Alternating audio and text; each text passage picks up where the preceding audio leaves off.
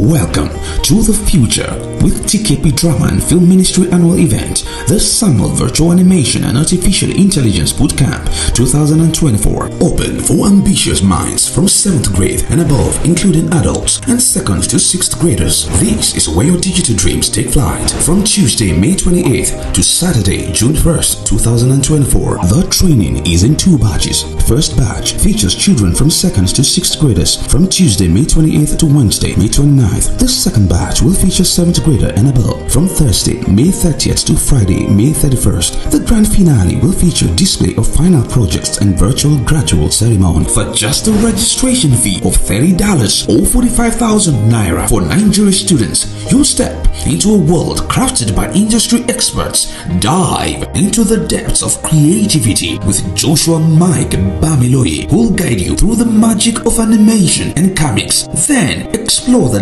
limitless possibilities of artificial intelligence with Rex Mwakama, ready to unveil the secrets of AI tailored to your age group. Host is no other than Tolu Abodone. This bootcamp is more than a learning experience. It's a transformative event that has garnered countless testimonies over the years. And now it's your turn to be a part of this success story. It isn't just a class, it's a gateway to advantages of AI and animation in our world today. You'll discover how these technologies transform life, work, and ministry, all from the comfort of your home. Payment is hassle-free. Choose from online the TKP mobile app, Zelle, Cash App, or GT Bank for our friends abroad. Remember, upload your proof of payment to secure your spot. And if you're in need, scholarships are available. Write to us at tkpdramaandfilms at gmail.com for a chance to join this tech odyssey. Ready to create your own testimony? Learn from the best. Unleash your potential at the Summer Virtual Animation